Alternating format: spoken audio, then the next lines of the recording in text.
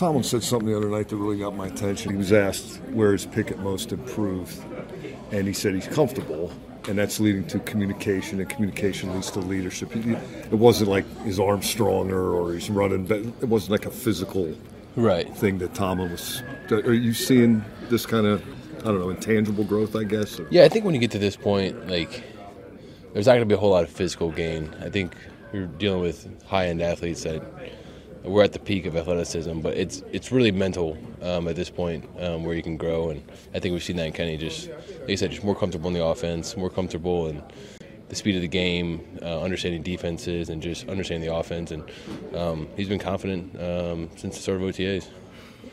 Where do you think that shows up the most? I think the biggest thing is just um, his timing, understanding with receivers. Um, it's the big thing I've noticed. he's also got a really good understanding for protections this year. Um, just he's worked on it all summer, all the OTAs, all training camp, and I think that's what good quarterbacks do, and he's done a really good job at it. So it's game related, but not necessarily skills related. Yes, I think it's.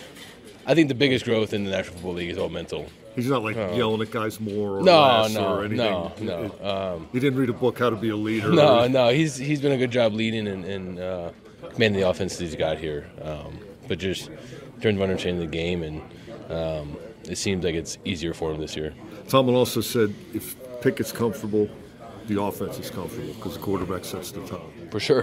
What's the comfort level of the group right now? Yeah, no doubt. Um, really good. I think we've had a really good training camp. Um, I think we progressed. Um, I think we're miles ahead of where we were last year at this point.